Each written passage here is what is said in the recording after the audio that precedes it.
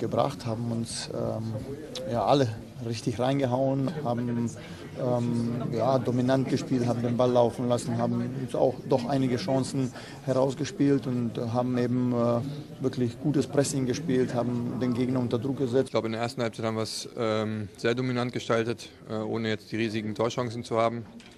Bei ähm, der Qualität musst du halt auch immer im Hinterkopf haben, wie schnell es dann gehen kann. Das hat man in der zweiten Halbzeit gesehen. In der zweiten Halbzeit hat Paris dann umgestellt. Da sind sie ein bisschen besser ins Spiel gekommen. Ähm, trotzdem am Anfang der zweiten Halbzeit hatten wir es trotzdem noch im Griff. Hinten raus äh, hatten wir dann ein bisschen Glück. Wir freuen uns natürlich, dass wir gewonnen haben. Das war unser Ziel heute. Und äh, dementsprechend sind wir auch fürs Rückspiel äh, ja, positiv gestimmt. Wichtiger erster Schritt für uns. Ähm hier auswärts in Paris äh, die drei Punkte mitzunehmen und alles kann man da nicht wegverteidigen, aber ich finde defensiv haben wir ja, ein sehr gutes Spiel gemacht. Ja, auf jeden Fall sind wir happy, äh, dass wir hier gewonnen haben. Äh, wir wissen jetzt aber, dass es jetzt erstmal in der Bundesliga drum geht. Und äh, dann in drei Wochen geht es, glaube ich, weiter. Jetzt geht es äh, darum, Konzentration hochzuhalten und in dem Rückspiel genauso eine Leistung zu bringen, zu bestätigen.